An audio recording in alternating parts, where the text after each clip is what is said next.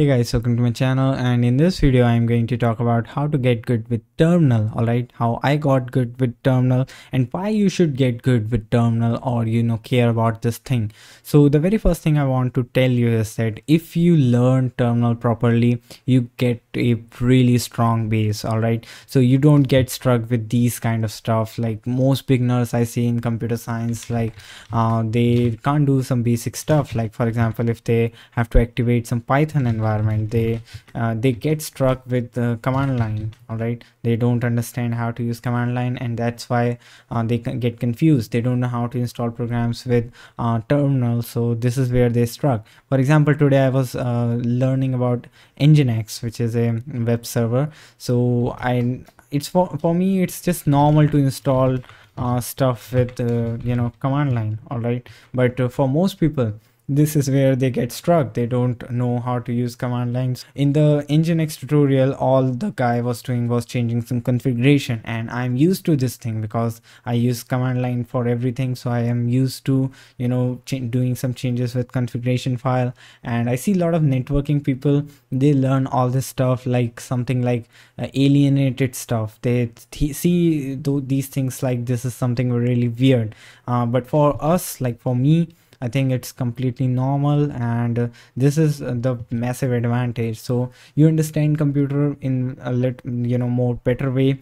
So i believe that you should learn uh, how to use computers with command line if you are following computer science or i believe that if you just learn it for no reason at all uh, these days technology are getting so ahead that you're going to get a massive advantage if you know uh, how to use computers by just using command line. So let me go ahead and give you some piece of advice in order to get good with terminal. So the very first thing I want to tell you in order to get good with terminal is just improve your typing speed a little bit because if you type like this, this is not going to work. I mean uh, seriously. So you at least uh, make like 80 wpm typing speed so what i did is to improve my typing speed. Uh, four years ago i start using 10 fast fingers and the only purpose is uh, to get good with command line to use computers with command line. I mean i just wanted to improve my typing speed so i don't you know i can just do everything with command line. I don't uh, you know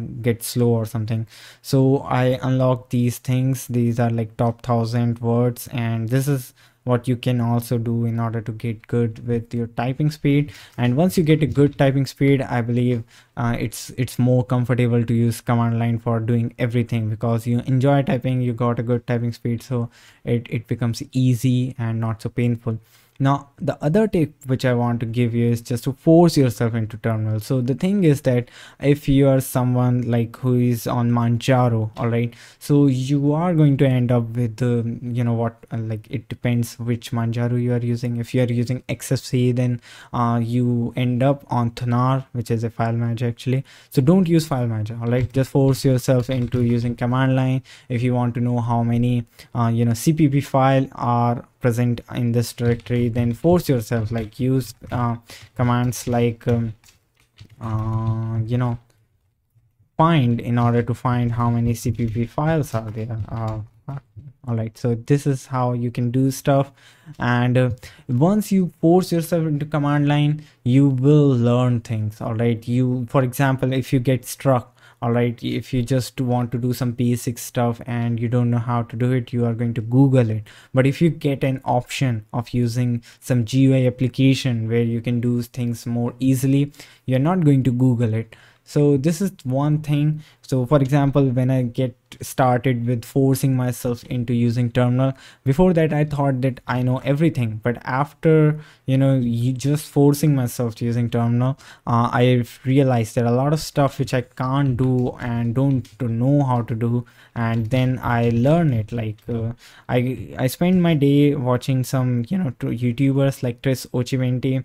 And i learn about some basic commands like tail and everything so i used it and i believe i forced myself into using this and i was doing some internship also. So uh, my job was related to computers. I had to provide some video files or something like that. So i forced myself into using uh, command line. So i learned ffmpeg i forced myself and that's why i learned you know ImageMagick because i always try to do things which can be done by terminal uh, with the terminal. All right so and the way I build the habit is by uninstalling every GUI program. I made this rule the only GUI program which I'm going to use is my browser and I try to use browser as less as possible uh, for because these days browser can do a lot of stuff. So uh, I force myself a lot into just using terminal. So for example, if I want to do some really basic stuff like I just want to watch some Silicon Valley episode. So I literally go like this mount SDA MNT it's already mounted so uh, and then I you know just play it. So it's like TV show and then uh, now I use G ZSH so this is one of the biggest advantage I got like uh, if you're using bash then uh, this thing might get a little bit hard. But i force yourself into using less features. Don't try to make your terminal to you know too great like most people do a lot of stuff like they do syntax highlighting and everything.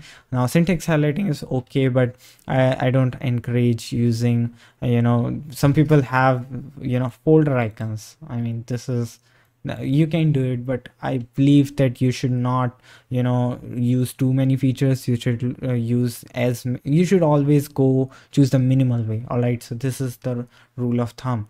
And one more tip i want to give you is to don't use any TUI programs. Uh, by TUI i mean terminal user interface. Like i never use spotify TUI or you know there are a lot of TUI programs people use. They use some music player I don't even use music player.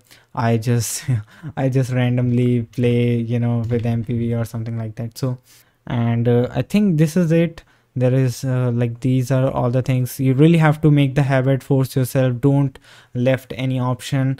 Just just there should be only one option, uh, which is just to use terminal. And this is how you can learn and get good with terminal and again if you learn how to use computers by just using terminal you're going to understand computer. You're going to get pro. You're going to really really enjoy using computer. And you know you will be the cool kid with no life